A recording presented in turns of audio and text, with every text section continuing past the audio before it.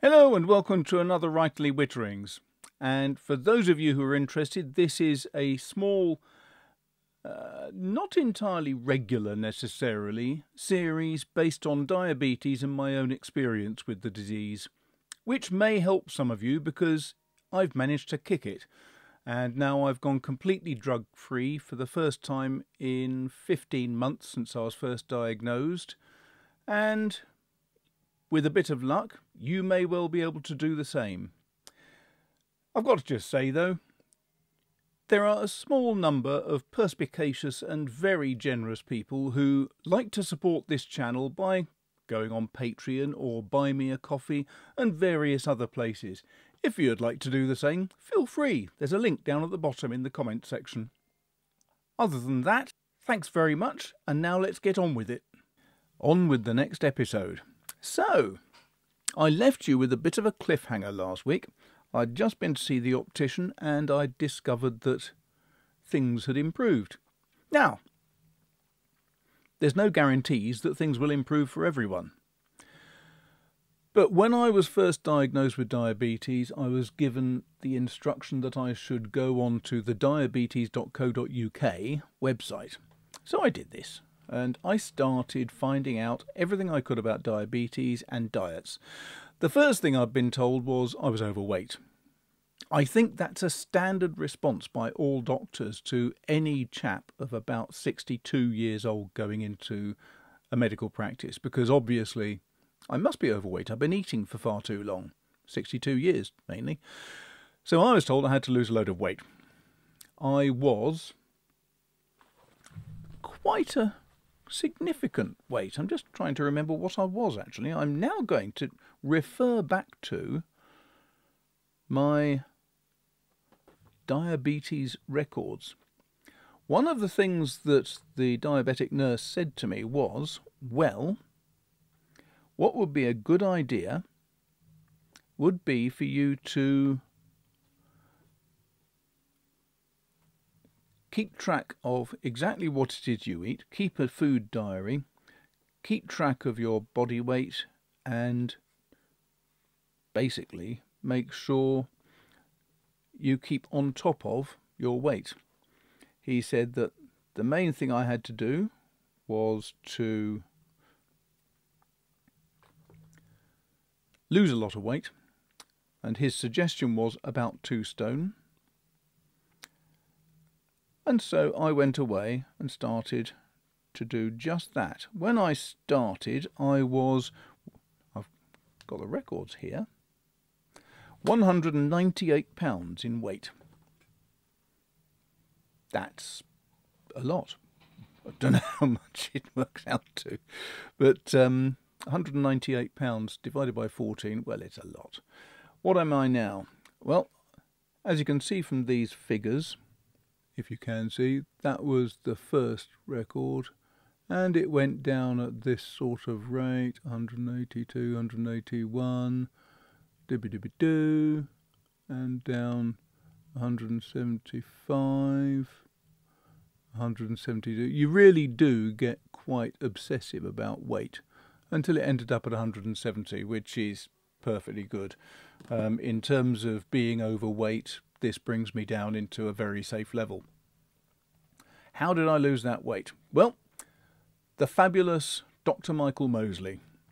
Many years ago, my wife and I decided we needed to lose a bit of weight, and so we went on to his 5 2 diet, which was brilliant because you could eat like a king or a hog five days of the week, and then two days a week you reduced your calorie intake massively to only 600 calories or so. And it worked very well for us. We lost a little bit of weight and we felt very good on it.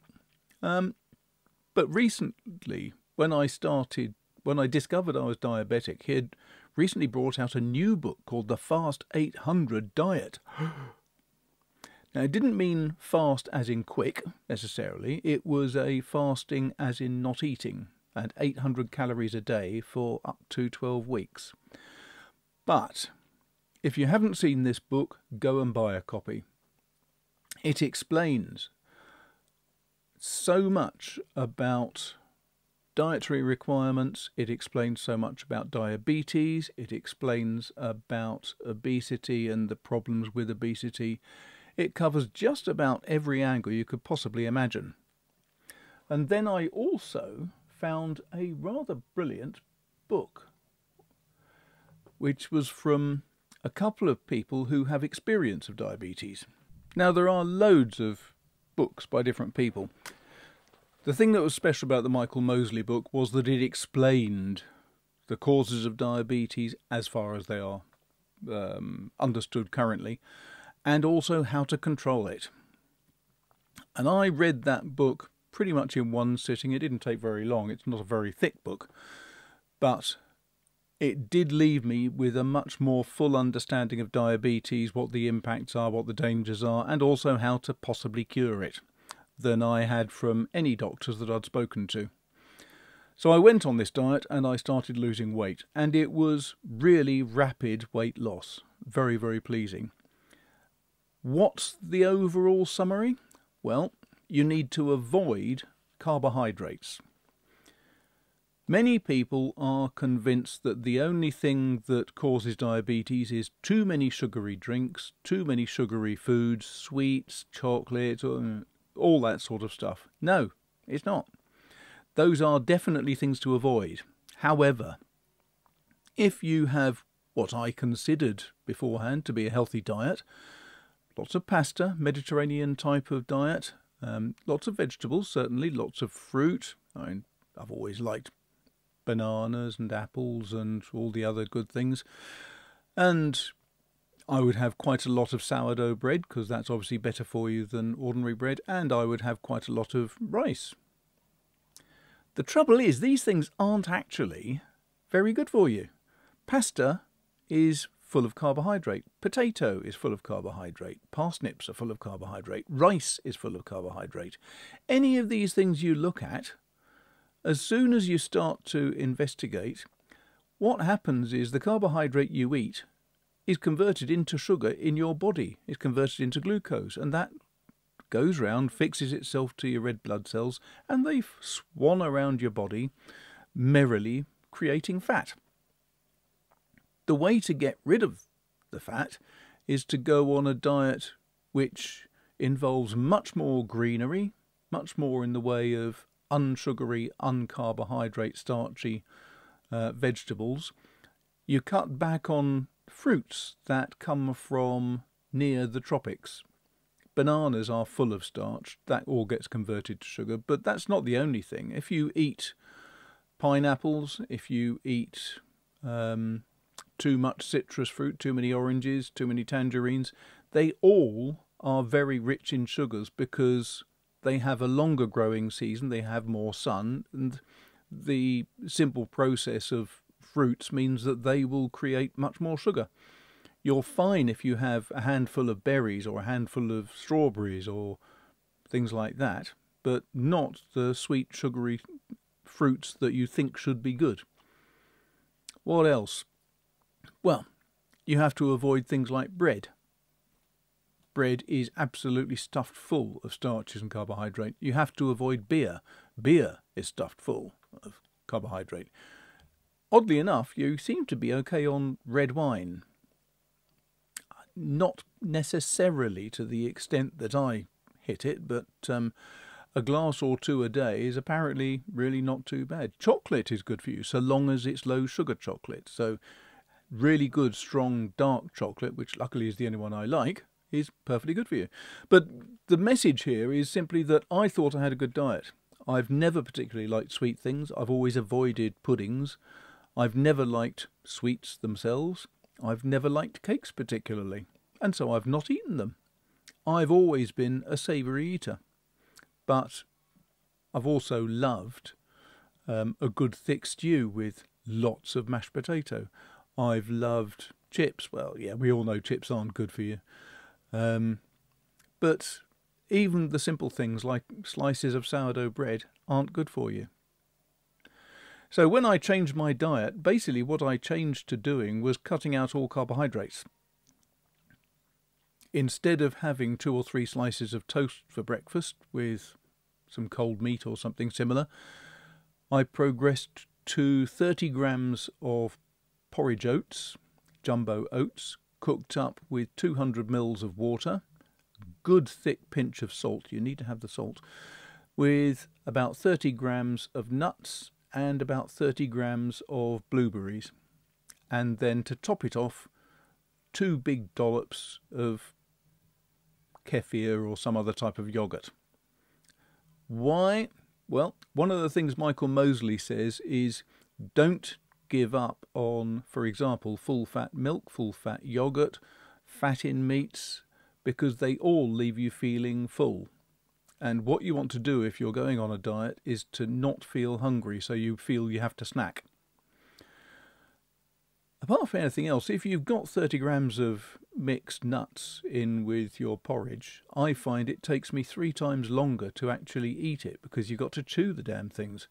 So I'll have um, either half walnuts, half almonds, or I'll have half cashew nuts and half something else. But I'll always just mix in different types of nuts daily, so I'm getting a different proportion of um, the essential vitamins and things that I need.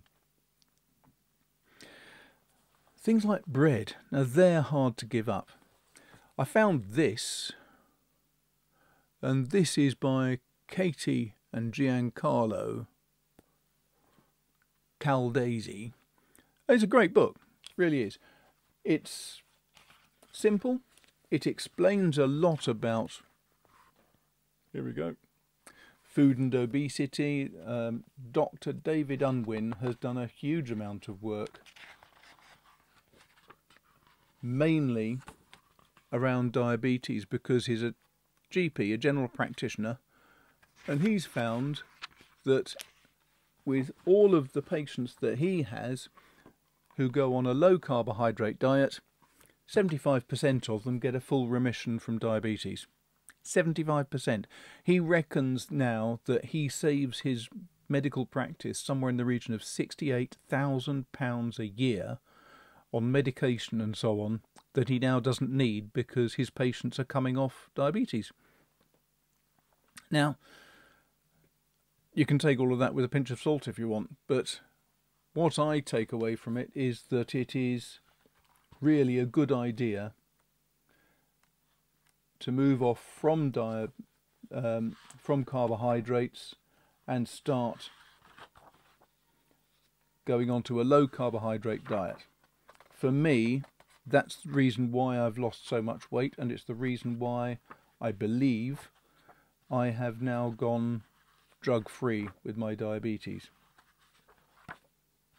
It is a great book. This one's handy because it's a 30 minute cookbook, but I've got three other cookbooks of theirs on my phone and my Kindle, and I refer to them regularly. So, what happened after going carbohydrate free. Well, as I say, I've lost a lot of weight. Got wobbly bits now, which is rather sad.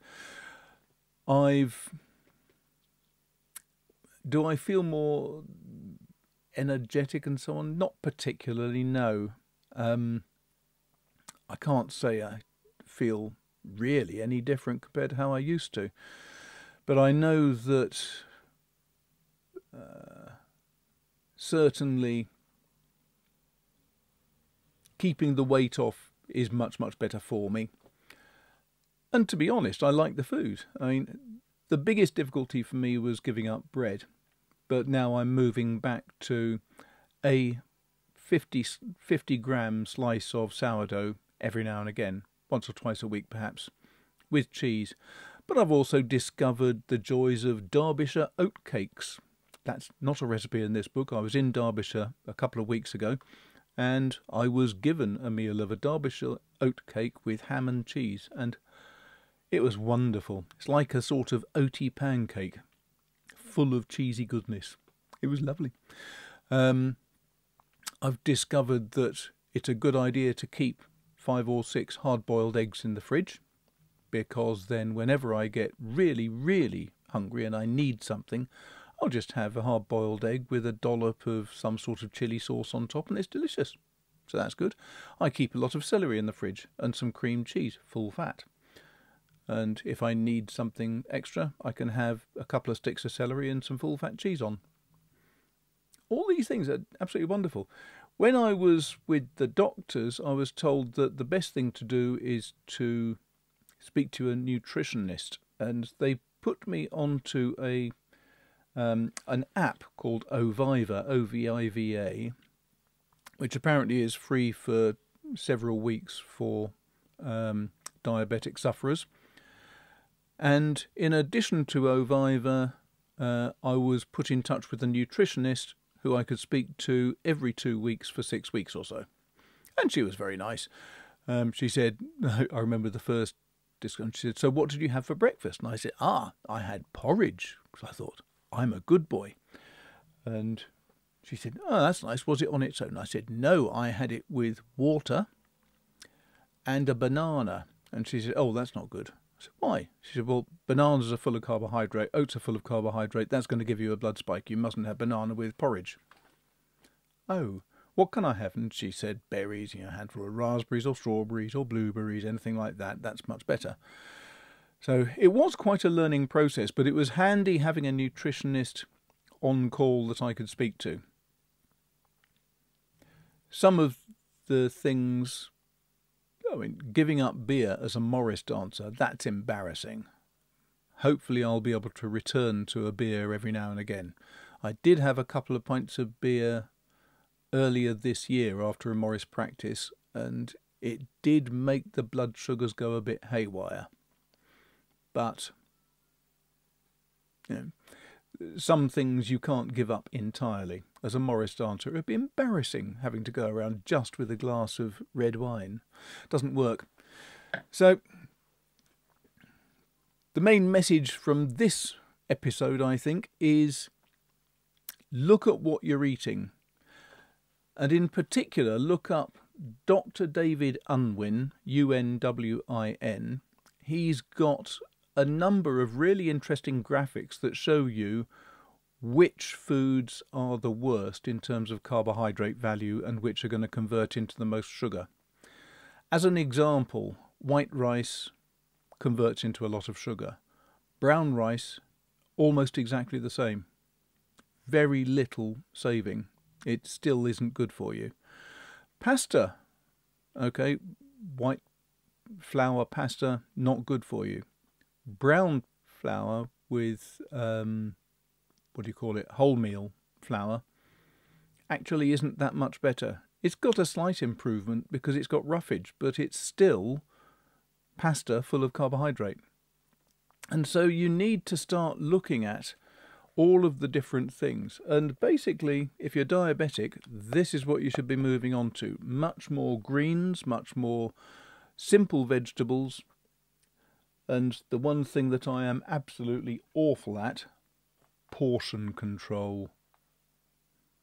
I am basically still a pig. Anyway, I hope that was interesting. I hope you found it informative. And what more is there to say? Thanks a lot for listening and watching. I'll speak to you soon. And now I'd just like to say thanks a lot for making it all the way through to the end. If you'd like to help keep this channel going, then, as I mentioned at the start, there's Patreon, there's Super Thanks, there's Buy Me a Coffee, and all kinds of other links down at the bottom, which you can go through in order to support the channel like so many other very friendly people. In the meantime, even if you don't support the channel financially, I'm very grateful for you having spent the time to get through to here. So thanks very much and have a great week. I'll be back before too long.